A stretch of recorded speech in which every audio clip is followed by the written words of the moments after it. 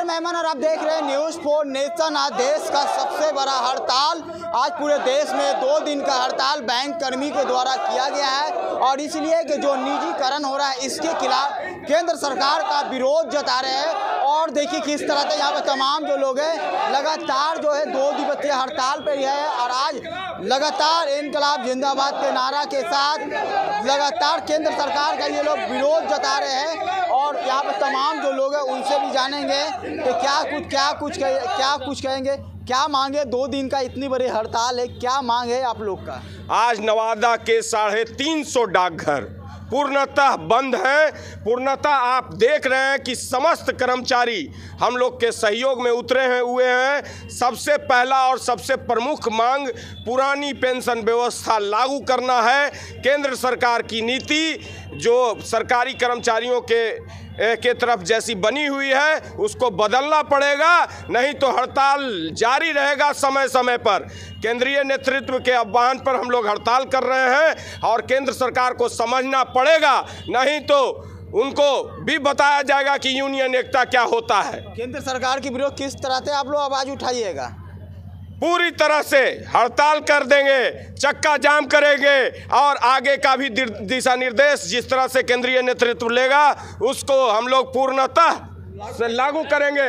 इनकलाब! और भी लोग हैं। क्या मांगे आप लोग का? क्या क्या हड़ताल पे? है मुख्य रूप से हमारी मांगे हैं कि जो सरकार जो हमारे आदरणीय दिवंगत अटल जी जो हमारे पेंशन को बंद किए हैं उन्हें पुनः लागू करें।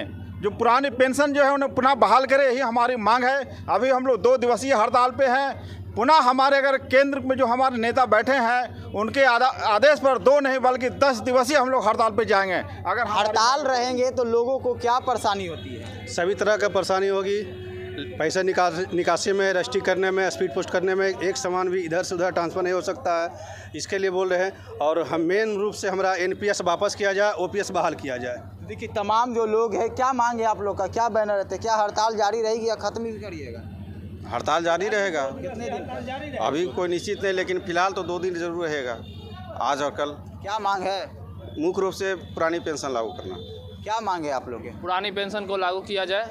जो सरकार की दोहरी नीति है, जैसे बहुत सारे स्टेट में देखने को मिल रहा है कि कुछ स्टेट जो है राज्य सरकार पुरानी पेंशन को लागू कर दिए है। उसी प्रकार से हम ये केंद्र सरकार से आह्वान करना चाहते हैं कि हम लोग सरकारी कर्मचारी, जो केंद्रीय कर्मचारी हैं, उन्हें भी पुरानी पेंशन को लागू किया जाए। तो देखिए तमाम जो लोग हैं बता देते आज नवादा में बता रहे थे साढ़े तीन सौ ऐसे बैंक है जो पूरी तरह ठप है। तो आ, जो जो, जो प्राइवेट लोग हैं जो लोग प्रतिदिन लेन देन करते हैं उन लोगों को तो परेशानी होगा। जो लोग अस्पताल आते हैं पैसा निकालने के लेके उन लोगों को भी परेशानी होगा। कहीं ना कहीं दो दिन तक ज़िले में लोगों को काफ़ी परेशानी का सामना करे पर करना पड़ेगा। ये ज़िले ही नहीं पूरे देश में लोगों को परेशानी करना पड़ेगा क्योंकि बैंक कर्मी पूरी तरह दो दिवसीय हड़ताल पर है। ये महा हड़ताल है तमाम जो लोग हैं वो लोग लगातार जो है अपने मांग को लेकर नाराबाजी भी कर रहे हैं। और तमाम जो लोग हैं और तस्वीर आप देख रहे थे नवादा में। इसी तरह आपको बता देते नवादा के सभी बैंक कर्मी जो है इसी तरह हड़ताल डटे हुए हैं। लेकिन सवाल भी यह है कि दो दिन तक हड़ताल आम लोगों को जिस तरह से परेशानी होती है और लोगों को काफ़ी परेशानी का सामना भी करना पड़ता है। लेकिन पूरे देश में हड़ताल है, इसलिए आपको बता देते